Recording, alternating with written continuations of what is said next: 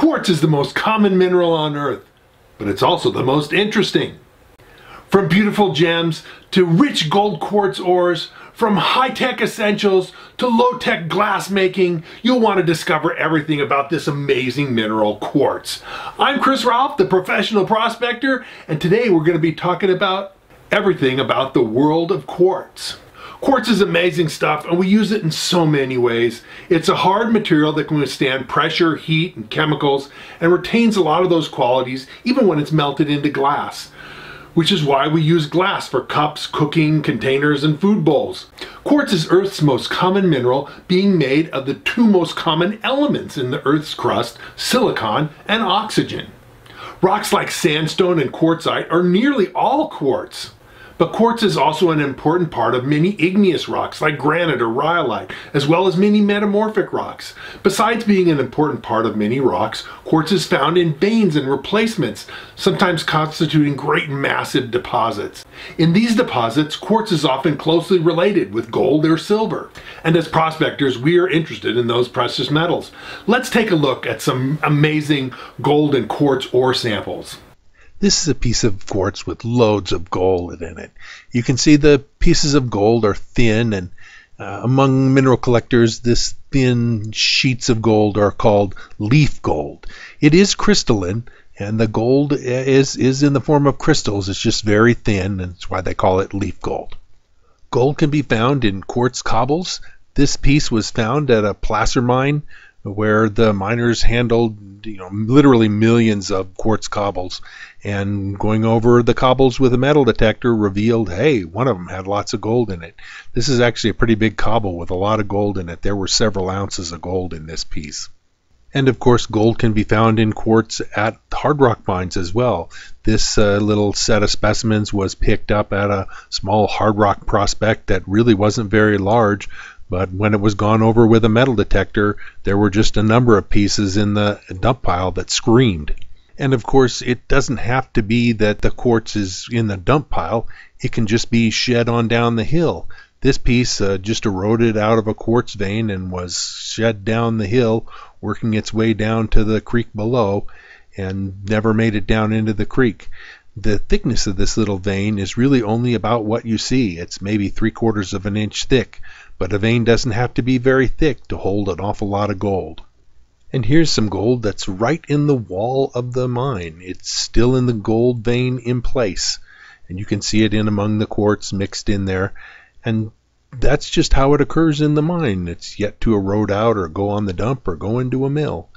Now, people might ask, why is gold so closely related with quartz? And there really is no fancy answer. It's quite simple. Quartz is the most common mineral on the surface of the earth, and the same hot fluids that dissolve gold and make gold deposits also very commonly dissolve quartz. And the same processes of cooling or relief of pressure or other things like that, chemistry, that cause the gold to shake out also can cause the quartz to shake out. And so, therefore, the solutions carry them and then the solutions drop them often more or less about the same time. The contrast of yellow metallic gold and white quartz is actually so attractive that they make jewelry out of it. This kind of gold and quartz jewelry was actually very popular in the 1890s and early 1900s. It hasn't been as popular since, but then there still is a market for it and there still is a desire for jewelry of this type. A question very commonly asked by prospectors is why did we see so much quartz in placer deposits and in hard rock mining areas? The answer is that most other minerals are subject to alteration by weathering. Felspar and mica minerals, as well as many others when exposed to rain and air over long periods of time, will be altered and broken down to some form of clay. On the other hand, quartz simply does not weather away like that. A chunk of quartz can sit for millions of years as nothing but a chunk of quartz, and like gold, quartz is left behind when the other minerals weather away. That is why we see so much quartz in our mining areas. The quartz that was there to begin with, it's still there while other minerals are washed away as clay. This means that quartz can be an important indicator for gold mineralization. It's not a perfect indicator because it's so common, But when you see chunks of vein quartz scattered around, there is at least a possibility that there may be gold as well. Areas with no visible quartz are less likely to produce. There are plenty of quartz veins with little or no gold, but as a quick and dirty indicator that you can see at a glance, abundant quartz on the ground can sometimes be a valuable indicator that there may be gold nearby. Let's take a look at some pictures. This is from my prospecting trip to Western Australia. And you can see a handful of white rocks scattered here and there in the photograph on the ground, and those of course are quartz. And but there's a lot more darker colored rocks, and those are ironstone. In this place, ironstone was much more abundant than the quartz, but the quartz was a good indicator in this location, and indeed I found nuggets here with my metal detector. This picture is from a gold bearing area in the Southern California deserts, and you can see in the foreground a big quartz outcropping. Uh, sometimes uh, prospectors will call this a blow of quartz because it's coming up out of the ground like it's boiling up. But you can see even in the background there's bits of scattered quartz, and indeed this is a gold bearing area, and the quartz is a good indicator. This is from my home state of Nevada, and the amount of quartz exposed here is really not very big. A comparatively narrow vein is cropping out here on the surface, and it's shedding a little bit of quartz, and it's not causing a huge area of quartz surrounding it because it's small. But even areas like this can be a good indicator that you might be finding gold very near here.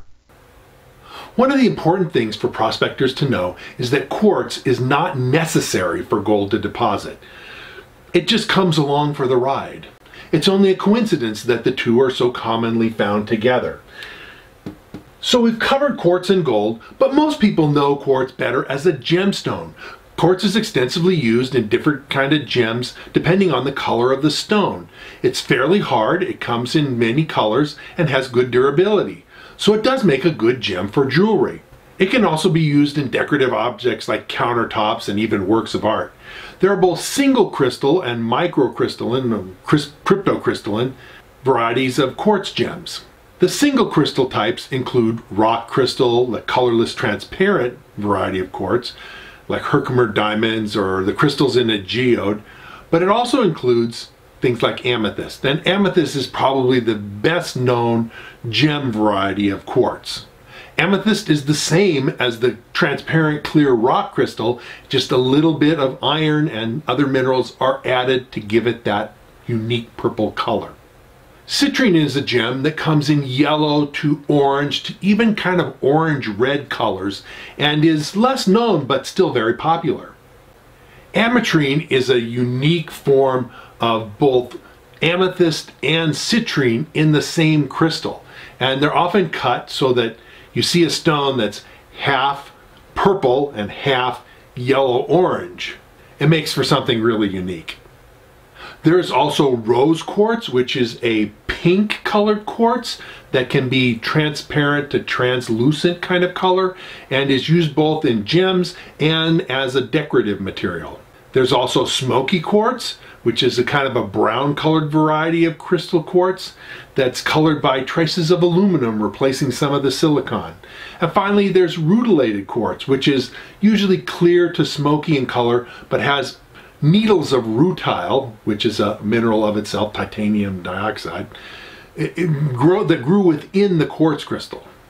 Let's take a look at some of the single crystal varieties of quartz and probably the best known variety of quartz crystal is the amethyst, the beautiful purple gemstone.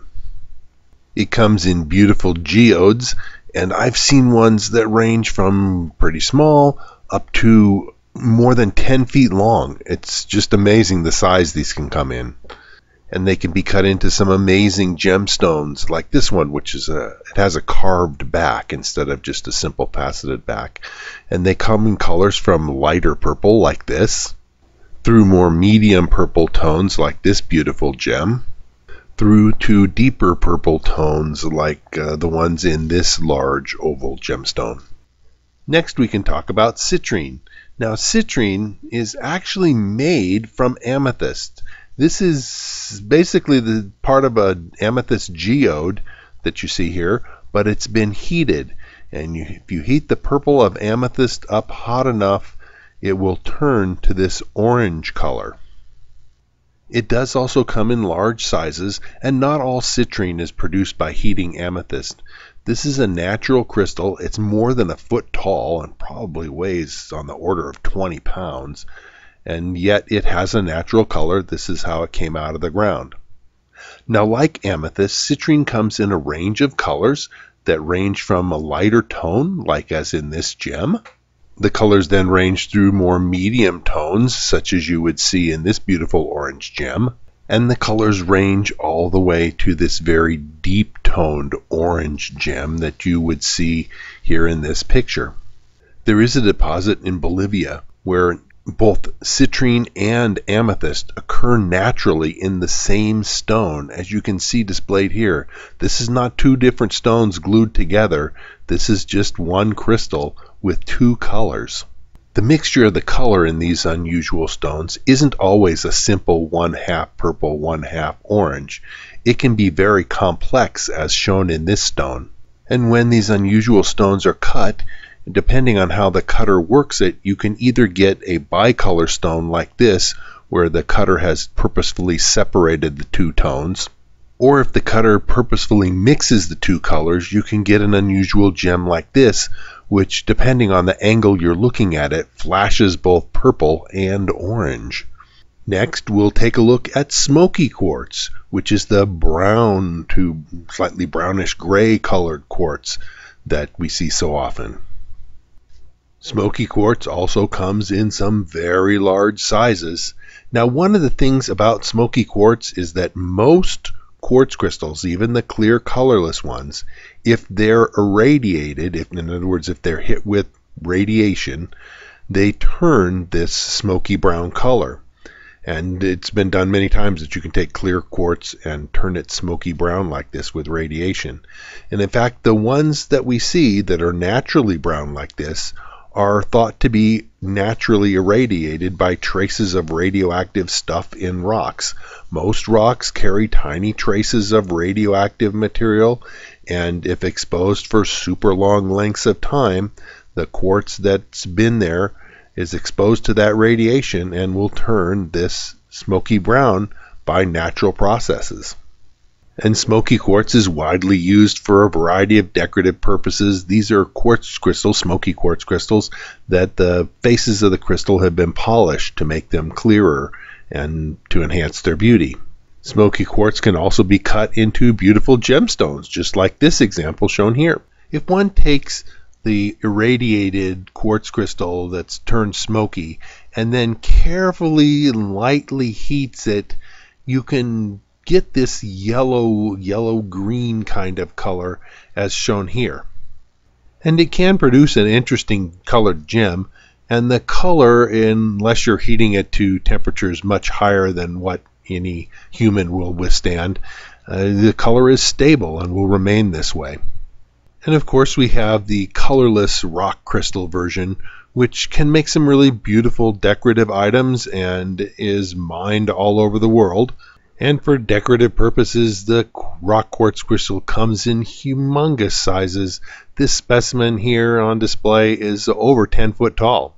And finally, let's talk about rose quartz. Now, this is a very unusual specimen of rose quartz in that it shows individual single pink crystals. Usually, the rose quartz that we see on the market is much more massive and looks more like this, where you really can't identify any individual crystals. It's just big chunks of pink quartz. Some of the better quality rose quartz is like this. You can see it's highly translucent, but it's still not really transparent enough to cut good faceted gems. Usually when you cut faceted gems out of rose quartz, they end up being hazy or sleepy. Still, rose quartz is perfectly good for making decorative objects like this bowl here. Little towers and knickknacks of various types and even bookends are also popular items made out of rose quartz. They also make decorative spheres, and this sphere displays a unique property of rose quartz in that it shows a six-ray star, and the star on this sphere will move around just like a star sapphire or some other similar gem. The microcrystalline group also includes many varieties of chalcedony, agate, and jasper. These are all very finely fibrous, transparent to translucent, often waxy looking forms of quartz that are very commonly found in irregular masses. They don't have an obvious crystal shape because the crystals in them are microscopically tiny and bound together. The extremely tiny quartz crystals in them are so intergrown that they appear smoothly mixed and do not give any external evidence of their crystal nature. There are many, many names for these stones depending on their color patterns. Carnelian is a name given to an orange-red to brown-colored chalcedony.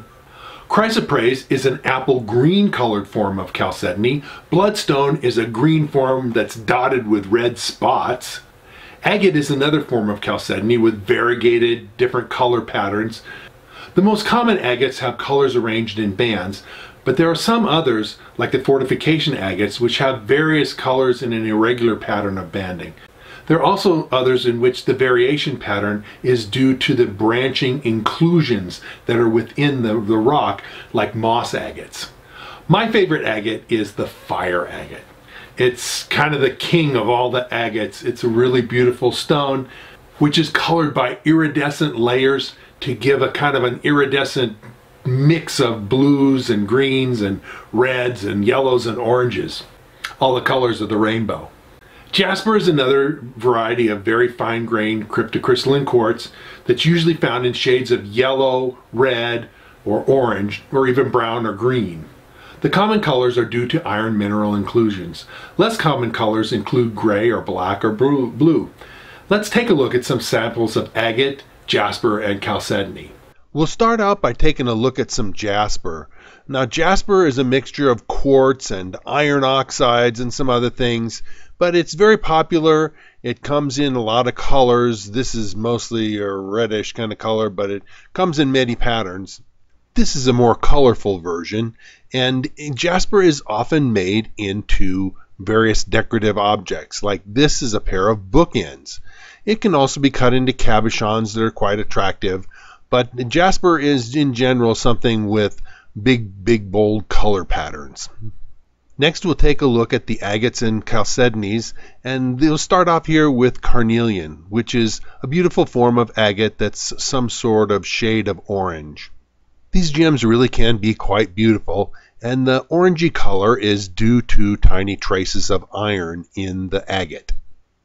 Next we have bloodstone, a form of agate that's green with red spots. And believe it or not, it's still iron minerals that are coloring both the green and the red spots in this version of agate.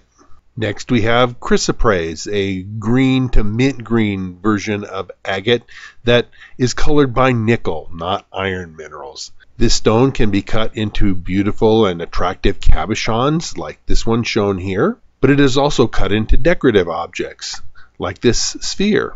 Many agates show beautiful banding patterns like this specimen. These lines are basically like the growth rings of a tree. As the agate grows, and conditions change, you get these lines that grow inside it. Sometimes the banding patterns show beautiful different contrasting colors, as in this piece. Some of these types of agates are basically fillings for geodes, and you can see that the different stages uh, as they grow and fill in, some eventually grow a, a quartz crystal growth on the interior and the interior opening, but some just fill up solid with agate. Another interesting and popular type is petrified wood. You can see almost the rings of growth as you look, the circular patterns in this cut across the log. Whole forests of wood can become buried underneath mud and other materials during uh, catastrophic events of uh, lava flows or other mud flows and sorts of things like that. And then eventually, over time, the wood gets replaced with quartz. These types of petrified wood deposits occur in many places. These pink limb casts are actually from northeastern Nevada. Yet another well-known type is the moss agate, where dendritic growths offset or contrast with the body color of the agate. This beautiful specimen is from northern Nevada. Moss agate actually comes in many colors, and both the dendrites and the background body color of the stone can vary quite a bit. But as I mentioned, out of all the agates and chalcedony and jasper, my very favorite is the fire agate. This stone is just amazing. In my opinion, the fire agate really is the king of all the agates and jaspers and chalcedonies. This iridescent color is really beautiful. It's considered an excellent gemstone for men's jewelry, and I've always thought I wanted to have a ring made of this. I really look forward to that. Someday maybe I will. It's probably the rarest of all the agates, being found only in a few places in southeastern California, Arizona, and into northern Mexico. I've hunted it in a few locations and found some really nice fire agate stones when I was out in the field. Quartz has an unusual property known as piezoelectricity, which when a force is applied to the crystal, the stress of the deformation generates a small electrical charge. This property works just as well in reverse so that when electricity is applied, it generates a small deformation. This property is used in hundreds of different types of devices, including computers, cell phones, televisions, radios, and others. We make hundreds of tons of synthetic quartz every year for our technology needs. In addition, all the silicon used in our electronics comes from quartz as well. Let's take a look at a picture. These are the kind of quartz crystals that we make industrially. And although these are huge, they're cut up into very, very, very tiny slices and bits and pieces that are used in all of our electronics, like I say, like cell phones and computers and the like.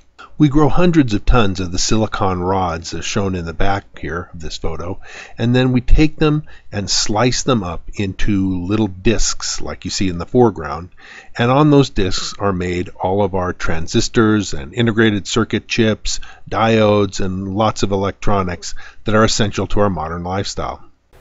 As far as low-tech uses, we use quartz as an abrasive including for things like sandblasting, scouring cleansers, grinding media, and grit for sanding and sawing. Huge amounts of quartz are melted down to make glass for windows and bottles and the like. A very special type of sized quartz sand is used in oil well fracking to recover oil from difficult wells. Quartz sand is used in the production of refractory bricks because of its sheer strength and resistance to heat. Quartz sand is often blended in with cohesive agents such as clay, resin, sodium silicate, oil, and the like, and used for the purpose of molding for metal casting. Engineered quartz is processed industrially to be used as countertops and slabs in residential and commercial buildings. So you can see why quartz really is the mineral of a thousand uses. Now we talked about gold quartz and prospecting and most of my videos are about gold prospecting and related topics. And if you want to become a better prospector and learn more about prospecting for gold and how to find it for yourself, well, I wrote a book about that. I'm going to tell you a little bit more about my book right now. So let me tell you a little bit more about my book. Um, it's called Fists Full of Gold, and I wrote it because I want you to be able to go out and find for yourself Fists Full of Gold. And uh, you can see that it's uh, an encyclopedia with all kinds of information, pictures, and that sort of thing. It's not in color, but uh, uh, color would have cost me a lot more to have printed and so the book would have cost a lot more. It's for sale on Amazon and you can pick it up. I'll put a link in the description below. I also serve as the editor for a, a, prospecting magazine. It's ICMJ's Prospecting and Mining Journal. And honestly, you should check that out. We got stories uh, and information, legal stuff, everything you know to increase your skills as a prospector. I write articles in this every month and a lot of other very experienced prospectors contribute to the magazine as well. So check the magazine out. Also, I have a website and the website is uh, at nevadaoutbackgems.com. I'll put a link for it in the description below, but there's gobs of information there that you will find useful in your prospecting efforts. Finally, I want to say that I really appreciate your comments and thoughts and even positive criticism. Don't come on there and just toss out insults because I'll just delete your comments. But if you've got uh, helpful things to say and questions to ask, do write and, and put those in the comments because I answer my comments to people. and uh, you'll hear from me in, in you know in, in responding to you. Uh, so if you've enjoyed this video and you like what you see and you're interested in uh, finding out more, well then sign up, subscribe, and hit the, uh, the notification bell so they'll let you know when I post new videos. And, you know, like it and share it if, again, you, you see stuff that you really are excited about. And I'll be coming out with lots more new videos, and so we'll see you again real soon.